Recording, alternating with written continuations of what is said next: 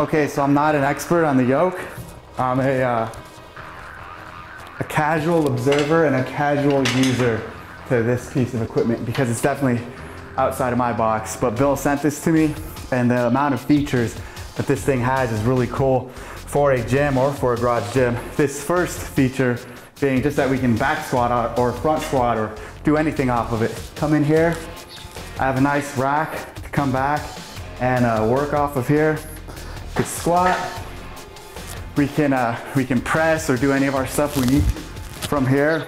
We can adjust these all the way down and bench off of them if we need to. And what's really cool, if you really want to get outside of your box, you can, uh, you can use this for some really fat bar pull-ups to work that grip. And uh, pretty sturdy. Holds my 185 pounds. Um, and then you take this and you start dropping it and you open it up to a world of possibilities of, uh, of different functional movements we can do with it.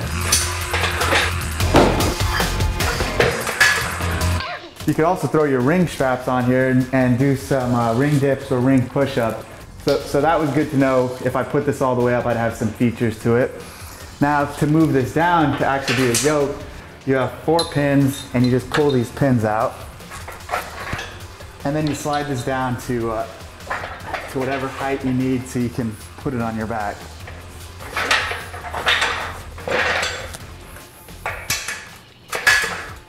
So Rogue's the manufacturer of this one, and I know there's a few others on the market, but this isn't a uh, this isn't a piece of equipment that I'm familiar with by uh, other brands. I know uh, Sorinex makes one, and theirs weighs a couple hundred pounds.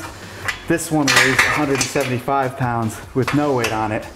Uh, I think, I'm pretty sure Rob makes one. If Rob doesn't make one, this is Rob's version here that Rogue's making for them. So he's somehow involved in this. So lower it down, and uh, what's really cool about this is you have a couple places here, which I never saw before, to store the weight. On traditional uh, yokes I've seen, you only have the four corners. So you could put some lighter weight here, 175 pounds, uh, plus the 95 right there. And this is a good intermediate weight instead of having four places. Get underneath it, brace up, as Kelly would say, get tight, stand up, and then you start walking. Um, now, if you wanted to jack the weight up, you could add more weight to those spots, or you could just do the four corners, which is uh, the more traditional way you'll see of using these, uh, these yokes. But we're not gonna go that much heavier.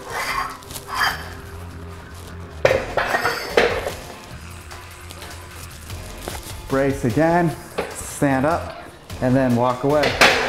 And uh, what's cool about this one, unlike a lot of other versions you see, is that you can use it for, for other things.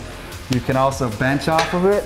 You have this uh, tight spacing of these, these holes, which are set up for, for benching. And I know uh, Bill got that idea from Louie racks. And another cool feature is you can drop this down and you can do what they call a uh, Zercher walk.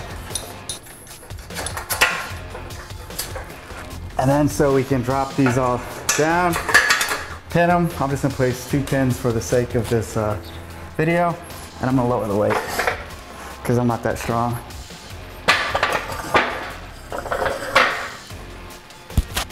And now we have another way to, uh, to carry this. Let's see if this is low enough. Get underneath, get tight, step up and start walking. And you could, some of the other uses, you could continue to drop this, use this for uh, jumping over, up and over. Um, you could push this, which this one might be a little difficult, but you can get down here and drive with it, or you could even push from up here, uh, maybe lower that so you have a lower push.